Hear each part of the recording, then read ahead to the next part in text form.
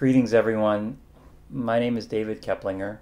I'm a poet here in the DC region, and I'm so honored tonight to join you all in helping to celebrate the poetry of my friend and colleague, Henry Crawford.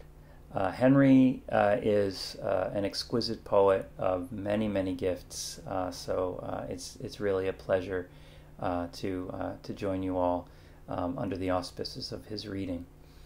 The poem that Henry's asked me to read is called Reading Emily Dickinson in Amherst, Massachusetts.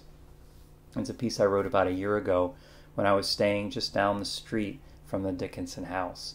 And I got to tour the house a few times and tour the graveyard and to be near her um, in spirit.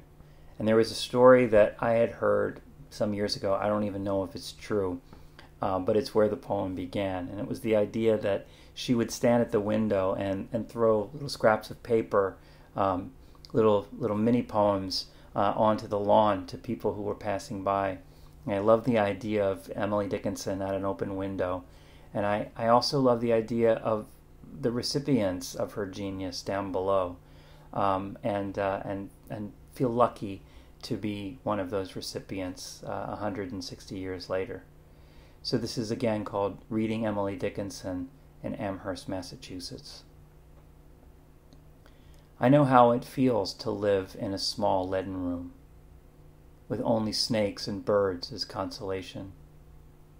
I know how to imagine death by falling through stories of floorboards, like a poem flutters through molecules, air, and time.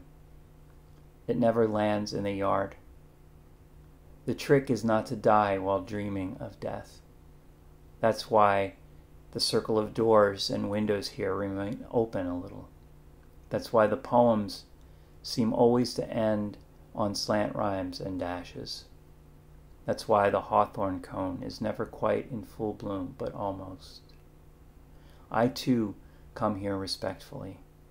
I bow halfway at thresholds. I know how to sit at a completely empty window, holding out my hands. Thank you all for asking me to come, and, uh, and again, thanks Henry for making that request. Bye bye, everyone.